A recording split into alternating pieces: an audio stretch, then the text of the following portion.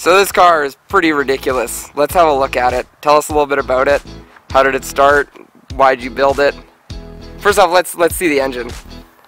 Well, this is my 1992 Nissan 240SX with a Chevy LM7 5.3 liter uh, V8 mated to a T56. So what, what was what was originally in this car? Obviously, this V8 is not stock. This had a uh, KA24DE stock rebuilt um, four cylinder that came stock with the with the truck with the car, and I took that out and put this in.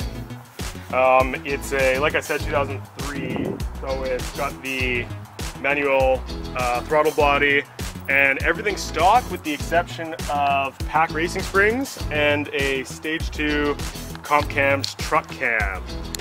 Um, you got some real nice, real nice wiring in this one. Clearly, it was a, it was a junkyard build. Yeah, I'm an electrician by trade, so you know I got to keep her uh, nice and tight. All right, of course, of course.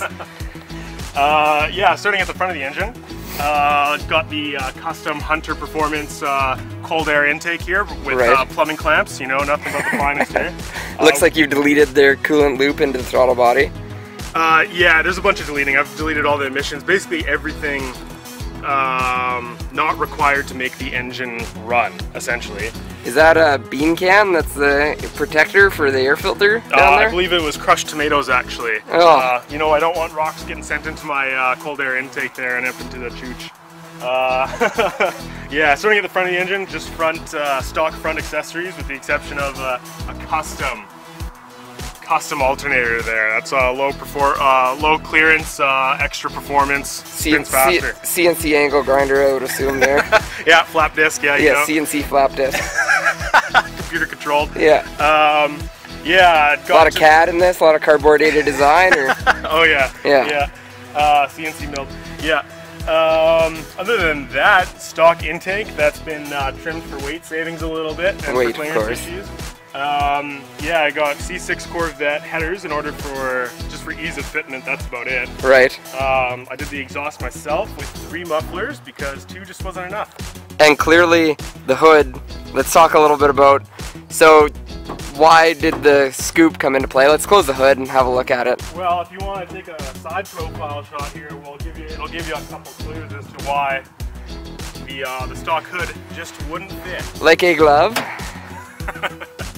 Uh, yeah. It does look good with the scoop though. Got, got the decals, the decals there. Um, other than that, she's pretty good to go. As for modifications as to how to get it in there, there wasn't much many clearancing issues besides the obvious hood. Right. I had to modify the cross member a little bit, as in remove about a half inch material just to fit the oil pan. Yeah. Um, had to make a bracket for my front sway bar and then bash the trans tunnel a little bit in order to fit the T56. But other than that, there wasn't much modification required. And what is it running for engine management? What's making this thing run? I've got a interior uh, MS3X, which is fully sequential fuel and spark. You can see the uh, down engine. in there, I assume, in that big metal box. Yeah, that's it, with all the wires properly labeled and uh, protected with loom.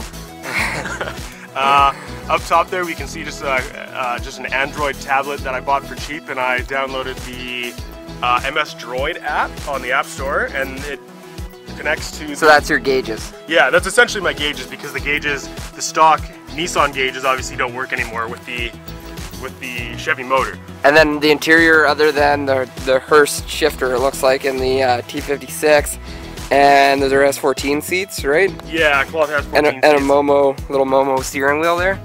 Yep, other than that, it's uh, it's pretty much stock in the interior, haven't done much to it. Right.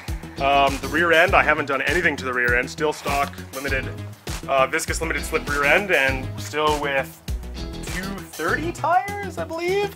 So she gets loose. Cheap Nexens. Yeah. Yeah. no name wheels, nothing. Perfect. Uh, haven't upgraded the brakes. Some uh, smoked out tail lights here.